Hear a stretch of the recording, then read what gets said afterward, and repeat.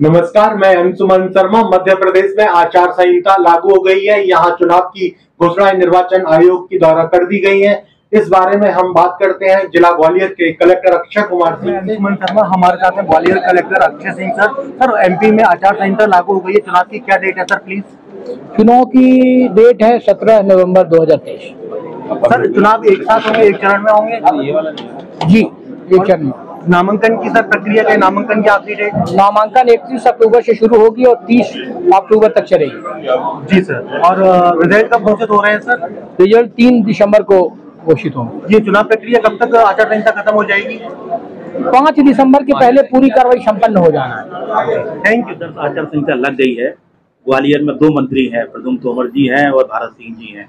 बाकी वो कैबिनेट मंत्री का दर्जा प्राप्त भी है। तो उनको क्या क्या सुविधाएँ से वापस ली जा रही है? देखिए जो शासकीय वाहन है वो अब उपयोग नहीं करेंगे।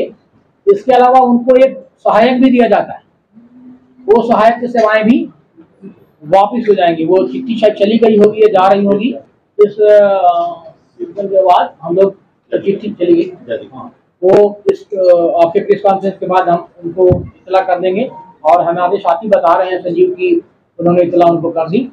सो शासन ने जो चीज़ें दे रखी है ऑफकोर्स घर उनके पास रहेगा पर घर को प्रचार की स्थली के रूप में उपयोग सरकारी गाड़ी रहेगी। ये? सरकारी गाड़ी रहेगी। सरकारी।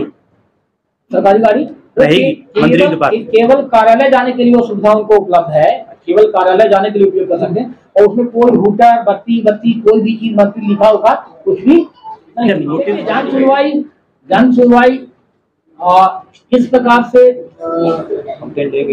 नहीं हो पाएगा कि हमारे अधिकारियों की निर्वाचन में व्यवस्था रहती है और बहुत सारी चीज़ें हम अभी आश्वासन के रूप में नहीं कह सकते। पर किसी की कोई तकलीफ़ ऐसी है ओके और उसमें कोई कुछ बताना चाहता है तो अगर मसलन बहुत सारे लोग फ़ोन करके तकलीफ़ बताते हैं।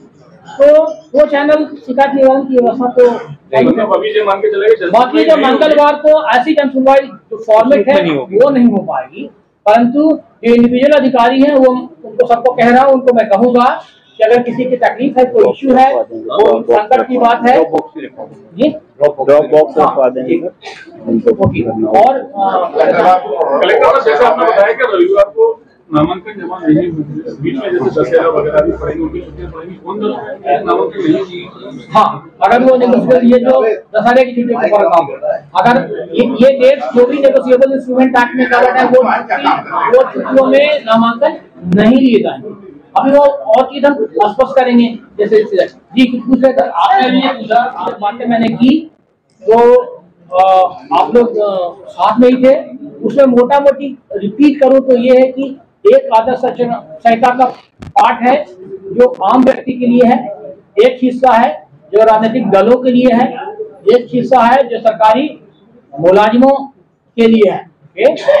और एक हिस्सा है जो प्रचार की सामग्री होती है अ, उसके संबंध में जहाँ तक सरकारी मुलाजिमों का ताल्लुक है उनके बारे में आदर्श संहिता ये कहती है कि निष्पक्ष रहेंगे निष्पक्ष दिखेंगे? कोई भी ऐसा काम नहीं करेंगे जिससे लगे कि आ, उनका इंक्लिनेशन कहीं है। ये सरकारी मुलाजिम के लिए सबसे महत्वपूर्ण बात है। अब से आज के बाद से कोई बैठ के करना लॉ एंड ऑर्डर की हो सुरक्षा की हो वो नहीं हो सकेगी ओके हाँ कोई क्राइसिस की पीरियड हो कोई सुरक्षा की बात हो लॉ एंड ऑर्डर की हो उसमें वो शरीक रह सकते हैं।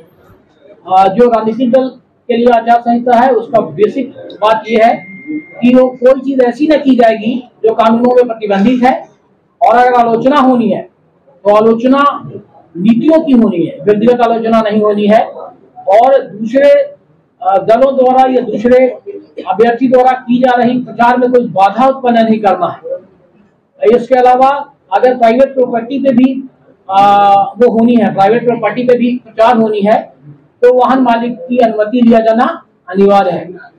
200 मीटर के बाहर वो बूथ लगा सकते हैं।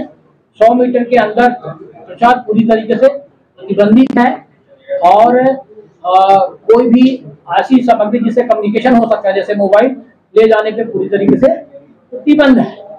ये आ, आम आदमी के लिए मुख्य बात यह है कि आ, अगर किसी के सहमति नहीं है तो आप कोई ऐसी चीज़ मत करिएगा जिससे आपके लिए उलझन पैदा हो जाए। कई बार अति उत्साह में आम आदमी कोई ऐसी चीज़ें कर देता है जिसमें सामने वाले की सहमति नहीं होती। जब उसके हम खर्चे में जोड़ते हैं तो वो कहता है कि मेरी सहमति नहीं थी। आज की स्थिति में उलझन उसके लिए होता है जिसने ये काम किया है। सो प्लीज़ आम आदमी तक भी ये मैसेज पहुंचाइए कि आपको किसी पार्टी से रिलेशन रखना है, किसी अभ्यर्थी से साथ रखना है, वो रखिए और उसके संज्ञान में होना ज़रूरी है। अभी जो बूथ बनता है 200 मीटर के बाहर, उसके नए निर्देश आए हैं। नए निर्देशों में 48 घंटे का प्रतिबंध है, वो आप सबको मालूम है। 48 घंटे आखिरी जो होते हैं, उसमें जो प्रिंट मीडिया है, उसका भी सर्टिफिकेशन लगने लगता है।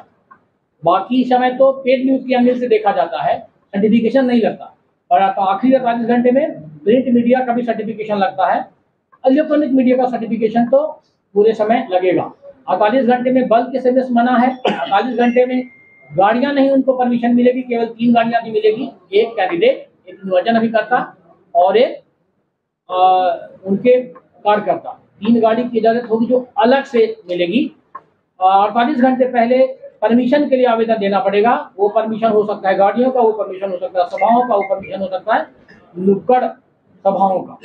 ये अपेक्षा की जाती है राजनीतिक दलों से।